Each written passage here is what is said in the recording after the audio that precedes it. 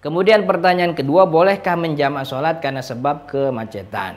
Nah ini perlu diluruskan bahwa sholat jamak itu punya sebab yang jadi sholat jamak itu bukan default.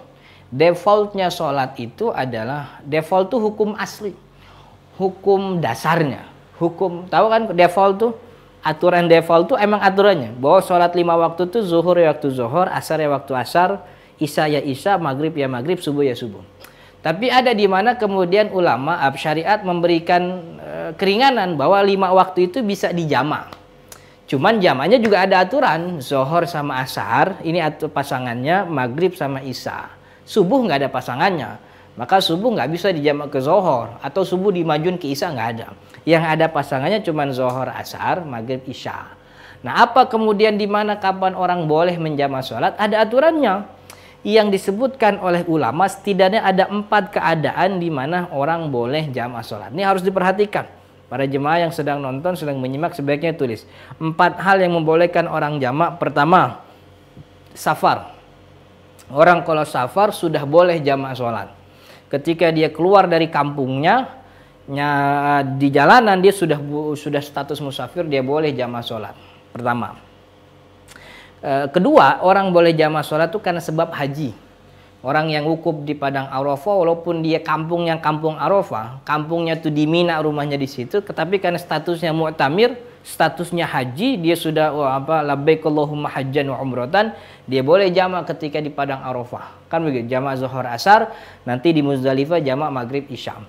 Orang boleh jamaah juga yang ketiga disebutkan dalam hadis karena sebab hujan. Yang keempat, orang boleh jamak karena sebab sakit. Ini yang dikatakan oleh Imam Ahmad bin Hambal. Dari keempat hal ini, macet masuk yang mana? Safar bukan. Bukan. Ya orang kerja di eh, Kuningan. Rumahnya di mana? Rumahnya Lenteng Agung. Kuningan Lenteng Agung tuh cuma 10-11 km, nggak nyampe.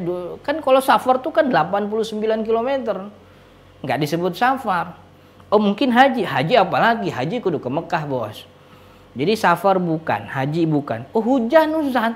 Ah, hujan itu syaratnya kata Imam Syafi'i orang boleh jamak sholat gara-gara hujan kalau hujan itu membuat wahal wahal apa wahal wahal tuh lumpur yang orang kalau nginjek tuh nggak bisa jalan lagi nah itu orang boleh sholat di rumah jamak aja lah jamak di rumah syaratnya juga harus jamak takdim sekarang hujan kita pakai sepatu, ada payung, kok kantornya di lantai 12. Musolahnya di bawah lantai satu. Kan nggak perlu keluar gedung. Hujan segede apa pun juga dia tetap bisa dapat ke musola. Sakit Ustadz? Sakit enggak, orang macet nggak sakit. Jadi safar bukan, haji bukan, eh, apa namanya, hujan juga bukan, sakit juga bukan. Jadi orang nggak boleh jamaah sholat gara-gara macet. Oh tapi mungkin bisa Ustadz, itu jamaah sholat gara-gara darurat Nah, orang beralasan, memang kalau kita buka banyak kitab ulama, ternyata memang ada setidaknya beberapa ulama yang menyebut salah satu orang boleh jamaah sholat itu karena sebab darurat. Tapi juga harus ingat bos, darurat itu syaratnya dua. Pertama keadaannya memaksa, kedua waktunya insidentil. Pertama memaksa, kedua insidentil. Memaksa itu maksudnya mutor. Keadaannya tuh tidak bisa kita keluar kecuali memang harus ke situ. Contoh apa?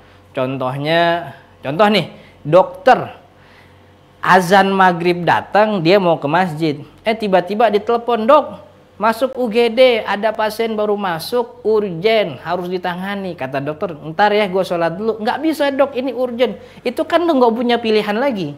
Dia nggak punya pilihan ke mana-mana yang harus dilakukan adalah menang menangani pasien yang sedang urgen darurat itu. Itu namanya memaksa. Dan kejadiannya insidentil, nggak diduga-duga. Jadi nggak bisa. Ini biasanya kalau habis maghrib ada pasien datang, itu namanya udah terduga. Pasien urgent tuh kan tidak terduga, jam 2 datang, orang lagi nonton bola tiba-tiba datang, kan nggak terduga tuh. Itu baru dikatakan darurat. Contoh lagi maling, apa satpam, lagi jaga nih, lagi jaga dia, apa namanya, eh, eh, habis sholat eh, asar, sore-sore dia jaga, jaga deh dia ternyata ada maling. Dikejar tuh maling. Itu kan maling kan datangnya tiba-tiba. Kan nggak ngetok-ngetok pintu dulu nggak assalamualaikum dulu. Tiba-tiba dia kejar hampir dia kejar capek hampir akhirnya sholat apa namanya sholat maghrib waktunya beres dia baru nangkap maling. Itu namanya insidentil. Orang kalau macet tuh nggak masuk dalam kategori darurat. Kenapa? Dia tidak memenuhi dua sifat darurat. Tidak memaksa dan juga tidak insidentil. Kenapa? Macet itu tidak membuat kita terpaksa harus diam di e, mobil karena kita bisa mensiasati untuk menunggu kapan harus berangkat nunggu maghrib dulu dan kejadian macet itu tidak insidentil macet itu rutinitas Orang kalau orang Jakarta kalau udah jam 4, jam setengah 5 udah tahu bakal macet pasti dan kejadiannya tuh pasti sudah bisa diprediksi. Maka nggak bisa dikatakan sebagai darurat. Apa ya ente mau jamaah sholat tiap malam begitu? Ya syukur sih kalau dia jamaah asar maghribnya tiap malam atau maghrib isya. Ada orang yang sholat subuh sampai maghrib dirapel malam dia. Nah, itu kan lebih buruk lagi. Tapi kemacetan tidak bisa dijadikan alasan untuk menjamak menjamak sholat. Dia bukan masuk dalam kategori safar. Dia tidak masuk dalam kategori haji. Dia tidak masuk dalam kategori hujan. Dia juga tidak masuk dalam kategori sakit. Macet juga tidak masuk dalam kategori uh, darurat.